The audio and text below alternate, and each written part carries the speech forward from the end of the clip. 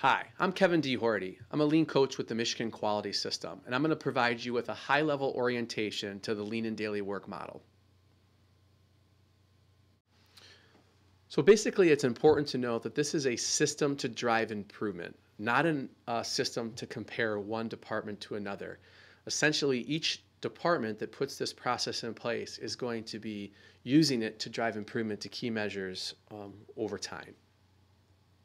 A summary of the main lean in daily work elements includes uh, key visual measures, a daily team huddle, daily problem solving through the everyday lean idea process, and leadership Gemba walks. Gemba meaning the place where work actually takes place. Uh, there's also a five minute video that we're going to have accessible on our website and we encourage you to watch that and it provides a little bit more of uh, details on each of these elements. And we're going to touch on each of these elements in some high level detail uh, here in just a moment. So for key visual measures um, there are five different improvement categories that we would like the departments to connect to. And that includes safety quality delivery financial stewardship and engagement. And then associated with that, there are potential connecting measures that um, our ambulatory care lean council got together um, and encouraging and are encouraging people to connect to, which includes hand hygiene and falls for our infusion and procedure areas um, in terms of the falls. Uh, that is under the safety category. Under quality, patient satisfaction and a care quality measure, which would be determined at the local level. Delivery being new patient access and uh, clinical encounter time, or our check in to check out time for our patients. For financial stewardship, it would be margin and charge reconciliation. And for engagement, it would be, of course, employee engagement and faculty engagement. Keep in mind that these, although these are potential connecting measures, if you as a department determined that there was uh, more important uh, uh, measures for you to connect to, you more than um, willing to, you're, you're more than, it's more than okay for you to do that, excuse me. For our daily team huddles, uh, this is an opportunity each day for the team to come together um, and reflect on how that day or the previous day went. So it's an opportunity to review your measures. Um, it's an opportunity to surface specific problems that got in the way of you reaching your goals that you've established as a team.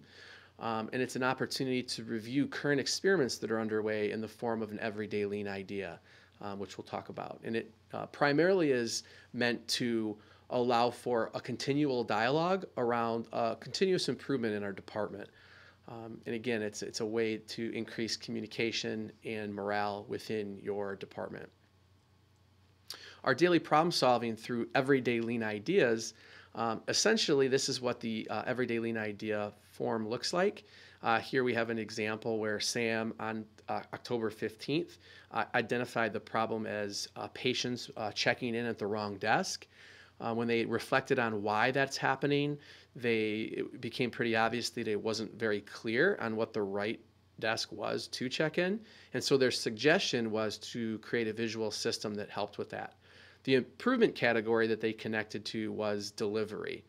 Um, underneath that line is a spot for a leadership review uh, that would basically take place during the leadership walk, um, as well as a spot for the owner of the problem to think through a specific experiment to try um, to, to carry out their suggestion. On the right is a picture of uh, a visual way to keep track of where specific ideas are in the implementation stage.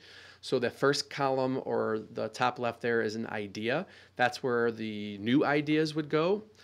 It would move to the do it section once the uh, leader has agreed that this is something that we should try. Uh, when it's in the doing it uh, section, basically that means we have a, an experiment that's underway that we're testing.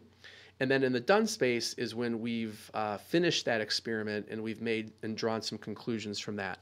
Uh, if it worked, of course, we would spread that and create standard work. If it, if it did not work, we can learn something from that and make sure that we share the learning that took place from that experiment. This is our opportunity to recognize that the people that do the work each and every day are the richest source of ideas for improvement. And it creates a formal process or system for us to um, continuously bring forward those ideas and continuously uh, run those experiments around their ideas. our leadership Gemba walk, Gemba again meaning where the actual work takes place, uh, centers around um, the opportunity for the leader to uh, break down barriers for the team. So this is not an opportunity for the leader to micromanage uh, the team, but it's a way for them to become deeper connected to the issues that are facing the faculty and staff.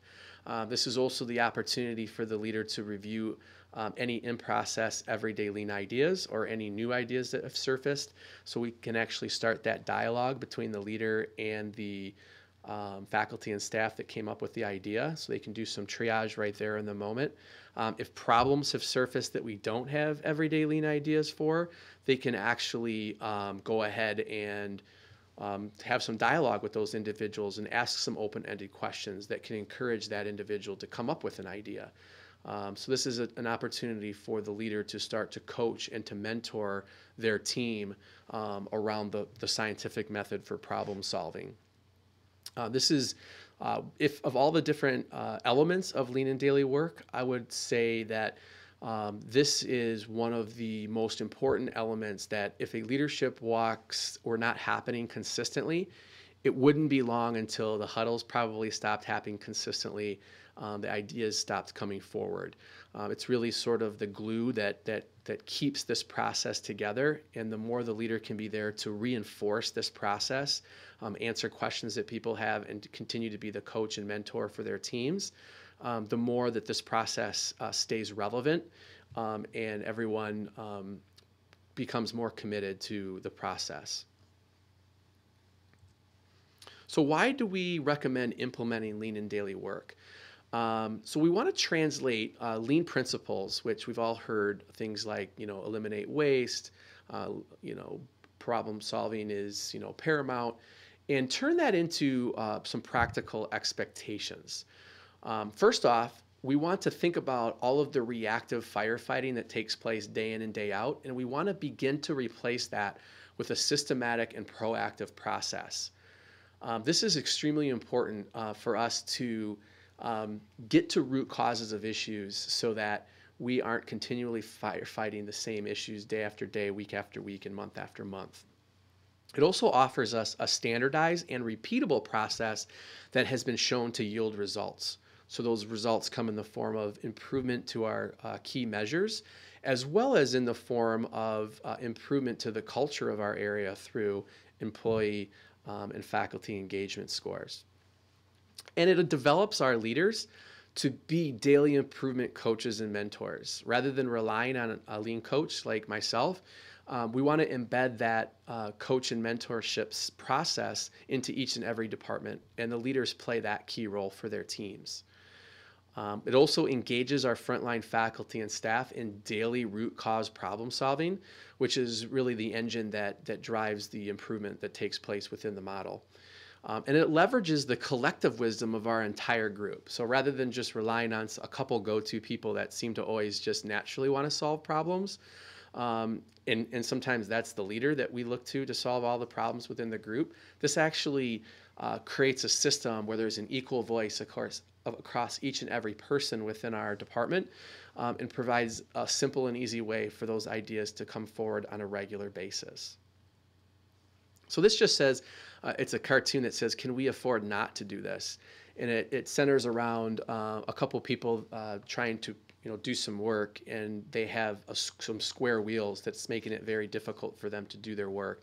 And there's someone here offering them wheels uh, as an idea to replace uh, those square wheels. And they're saying, no, thank you. We're much too busy to do that. And this is a, a, a real good example of what we see each and every day where um, we're so busy with our our uh, less than efficient processes in the firefighting and the rework that takes place each and every day um, that we don't take that time to make improvements and to bring forward ideas and if we can start to make that investment over time we're gonna it's gonna pay it it's gonna pay for itself in in pretty quick time and so if you do have any specific questions um, please feel free uh, to reach out to us. Um, we're more than willing to, to come out to your site and help you if necessary. Uh, we're going to have different process of mentoring that will take place uh, over the months and years to come.